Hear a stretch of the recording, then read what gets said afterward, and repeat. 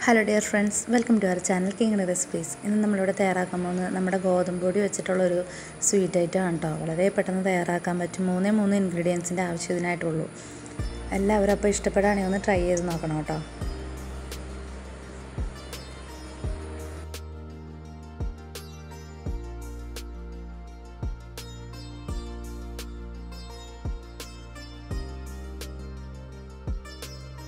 ആദ്യം തന്നെ ഒരു പാൻ അടുപ്പത്തോട്ട് വെച്ചിട്ട് അതിന്റെ അകത്തേക്ക് ഒരു കപ്പ് അളവിൽ ആട്ടപ്പൊടി എടുത്തിട്ടുണ്ട് കേട്ടോ.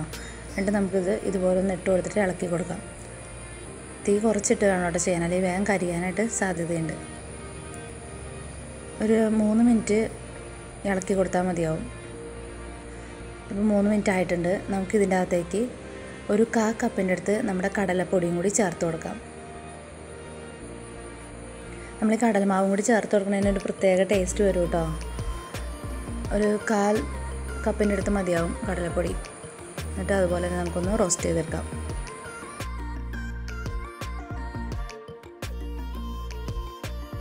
ഇപ്പോൾ ഒരു മൂന്ന് മിനിറ്റ് കഴിഞ്ഞിട്ടുണ്ട്. ഇനി നമുക്ക് ഇതിന്റെ അകത്തേക്ക് നെയ്യ് ചേർത്ത് കൊടുക്കണം. ഞാനിവിടെ അര കപ്പ് നെയ്യാണ് എടുത്തേക്കണേ. നമ്മൾ അര കപ്പ് നെയ്യ് ഒരുമിച്ചല്ല ചേർത്ത് കൊടുക്കുന്നത് രണ്ട് പോർഷനായിട്ടാണ് കേട്ടോ നമ്മളിത് ചേർത്ത് കൊടുക്കണം നെയ്യ്.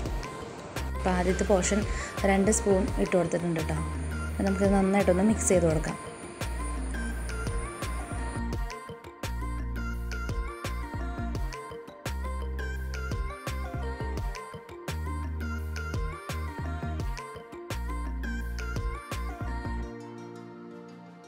നമ്മൾ ആദ്യം ഇട്ട നെയ്യ് നന്നായിട്ട് നമ്മുടെ മാവുമായിട്ട് മിക്സിങ് ആയിട്ടുണ്ട്.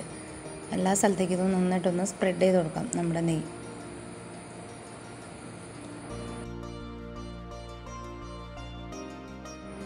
ഇനി നമുക്ക് ബാലൻസ് രണ്ട് ടീസ്പൂൺ നെയ്യും കൂടി ഇട്ട് കൊടുത്തിട്ട് നന്നായിട്ടൊന്ന് മിക്സ് ചെയ്ത് കൊടുക്കാം കേട്ടോ.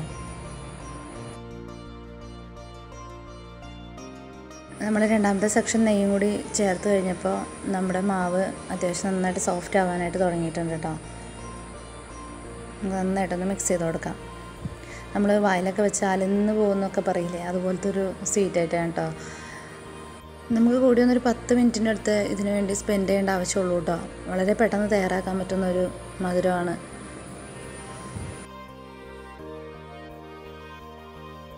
നമ്മുടെ മാവ് നന്നായിട്ടൊന്ന് സോഫ്റ്റ് ആയിട്ടുണ്ട് കേട്ടോ ഇനി നമുക്ക് ഇതിന്റെ അകത്തേക്ക് അടുത്ത് പഞ്ചസാരയാണ് കേട്ടോ ചേർക്കേണ്ടത് അര കപ്പ് പഞ്ചസാര ഞാനിവിടെ പൗഡർ ഫോമിലാക്കി എടുത്തേക്കണേ കേട്ടോ മിക്സി ജാറിലിട്ട് നമ്മൾ ഈ പഞ്ചസാര പൊടിക്കുന്ന സമയത്ത് ഒരു മൂന്ന് ഏലക്കയും കൂടി അതിന്റെ അകത്ത് ഇട്ടിട്ടുണ്ടായി. അപ്പോൾ നമ്മുടെ ഏലക്കയുടെയും കൂടി ഫ്ലേവർ വരാൻ വേണ്ടി ഏലക്ക മൂന്നെണ്ണം കൂടി ചേർത്ത് കൊടുത്തിട്ടുണ്ട് കേട്ടോ പഞ്ചസാര ഇതുപോലെ നന്നായിട്ട് നമുക്ക് ഇതിന്റെ അകത്തേക്ക് ഇളക്കി യോജിപ്പിക്കാം. ഒരു കപ്പ് മാവിന് നമ്മൾ അര കപ്പ് പഞ്ചസാരയാണ് കൊടുക്കണേ. ഇതിന്റെ കറക്റ്റ് മെഷർമെന്റാണ് ഇതിന്റെ മധുരമൊക്കെ കറക്റ്റ് ആയിരിക്കും. ഇനിയിപ്പോൾ മധുരം കുറച്ചും കൂടി കുറവ് മതി എന്നുള്ളവർക്കാണെങ്കിൽ ഈ പഞ്ചസാരയുടെ അളവ് കുറച്ചും കൂടി കുറയ്ക്കുക കേട്ടോ. ഇതിപ്പോൾ നമ്മുടെ മധുരത്തിന്റെ അളവ് കറക്റ്റാണ് നമ്മൾ ഒരു കപ്പ് ഗോതമ്പ് പൊടിയും അതുപോലെ തന്നെ ഒരു കാ കപ്പിന്റെ അടുത്ത് നമ്മുടെ കടലപ്പൊടിയും കൂടി എടുത്തിട്ടുണ്ടല്ലോ. അപ്പോൾ അര കപ്പ് പഞ്ചസാര എന്ന് പറയുന്നത് ഇതിന് കറക്റ്റ് മെഷർമെന്റ് ആയിരിക്കും. മധുരം ഇഷ്ടമുള്ളവർക്ക് ഇത് കറക്റ്റ് ആയിരിക്കും കേട്ടോ. മധുരം കുറവ് മതി എന്നുള്ളവർക്കാണ് ഇതിന്റെ അളവ് പഞ്ചസാരയുടെ അളവ് അളവ് കുറച്ചും കൂടി കുറയ്ക്കാമെന്ന് ഞാൻ പറഞ്ഞു. അപ്പോൾ നന്നായിട്ട് പഞ്ചസാര നമ്മുടെ പൊടിയായിട്ട് മിക്സ് ആയിട്ടുണ്ട് കേട്ടോ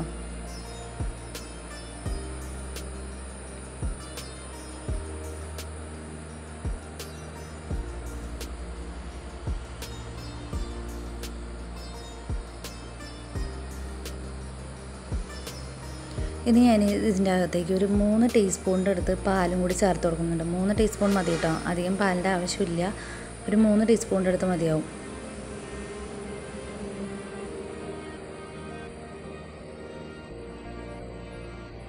നമ്മൾ ആ പാലും കൂടി ചേർത്ത് കൊടുത്തപ്പോൾ കുറച്ചും കൂടി നമ്മുടെ മാവൊന്ന് സോഫ്റ്റ് ആയിട്ടുണ്ട് കണ്ടോ? ഇനി നമുക്കിതൊരു പ്ലേറ്റിലോട്ട് മാറ്റാം കേട്ടോ.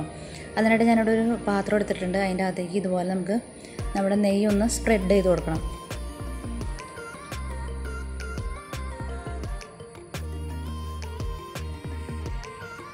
എന്നിട്ട് നമുക്ക് നമ്മുടെ മാവ് റെഡി ആയിരിക്കുന്നത് ഇതിന്റെ അകത്തേക്ക് ഇട്ട് കൊടുക്കാം.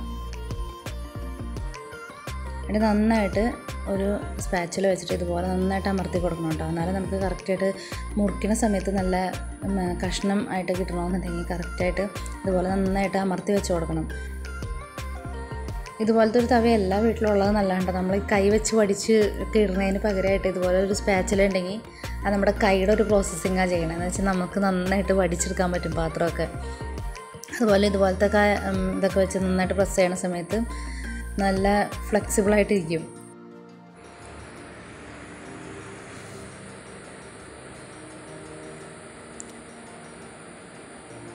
ഇനി നമുക്ക് ഇതിന്റെ മുകളിലായിട്ട് ഞാനിവിടെ ഇട്ട് കൊടുക്കുന്നത് പിസ്ത ചോപ്പ് ചെയ്തെടുത്തതാണ് കേട്ടോ നിങ്ങൾക്ക് വേണമെങ്കിൽ ബദാമോ ക്യാഷ്നട്ടോ എന്താ ഉള്ളതെന്ന് വെച്ചാൽ ഇതുപോലെ ചെറിയ പീസായിട്ട് ഇട്ട് കൊടുക്കാം. ഇനിയിപ്പോൾ അത് ഇട്ടില്ലെങ്കിലും കുഴപ്പമൊന്നുമില്ല കേട്ടോ ഇത് ഓപ്ഷണലായിട്ടുള്ളൊരു പോർഷനാണ് കേട്ടോ ആവശ്യമുണ്ടെങ്കിൽ മാത്രം ഇട്ട് കൊടുത്താൽ മതി. കയ്യിലുണ്ടെങ്കിൽ മാത്രം ഇട്ട് കൊടുത്താൽ മതി. ഇട്ടില്ലെങ്കിലും കുഴപ്പമൊന്നുമില്ല.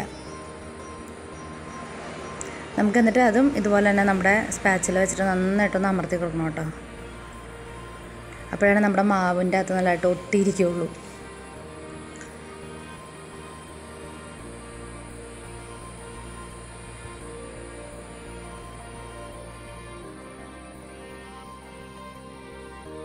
ഇനി നമുക്കിതൊന്ന് തണുക്കാൻ വയ്ക്കണം ഞാനിവിടെ ഒരു ഒരു ഒന്നൊന്നര രണ്ട് മണിക്കൂറിന്റെ അടുത്തൊന്ന് ഇതൊന്ന് ചൂടാറാനായിട്ട് വെച്ചിട്ടുണ്ടായി കേട്ടോ രണ്ട് മണിക്കൂറിന്റെ അടുത്ത് ചൂടാറാൻ വെച്ചിട്ടുണ്ടായുള്ളൂ.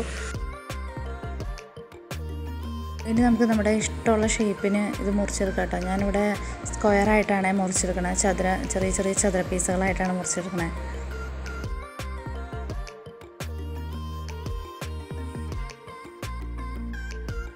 അങ്ങനെ നമ്മുടെ ഗോതമ്പ് വെച്ചുണ്ടാക്കി ബർഫി റെഡി ആയിട്ടുണ്ട്.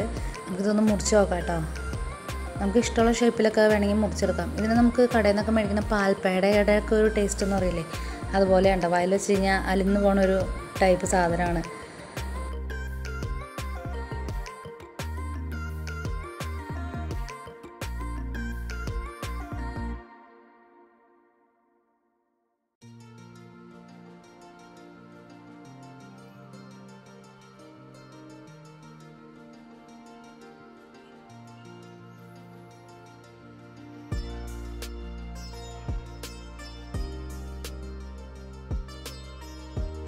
ഇന്നത്തെ വീഡിയോ എല്ലാവർക്കും ഇഷ്ടപ്പെട്ടു എന്ന് വിചാരിക്കുന്നു. ഇഷ്ടപ്പെട്ടിട്ടുണ്ടെങ്കിൽ എന്റെ ചാനലൊന്ന് ലൈക്ക് ചെയ്യണം. അതുപോലെ തന്നെ ഒന്ന് സബ്സ്ക്രൈബ് ചെയ്യണം. പിന്നെ തൊട്ടടുത്തുള്ള ഒരു ബെൽ ബട്ടൺ ഉണ്ട്. അതിന്റെ അകത്തും കൂടി ഒന്ന് ക്ലിക്ക് ചെയ്യണം കേട്ടോ. അപ്പോൾ ഓൾ എന്നൊരു ഓപ്ഷനും കൂടി വരും. അതിനകത്തും കൂടി ക്ലിക്ക് ചെയ്യാൻ മറക്കല്ലേ? എങ്കിൽ മാത്രമാണ് ഇടുന്ന എല്ലാ വീഡിയോസിന്റെയും നോട്ടിഫിക്കേഷൻ കാണാൻ സാധിക്കൂ. എല്ലാവർക്കും താങ്ക്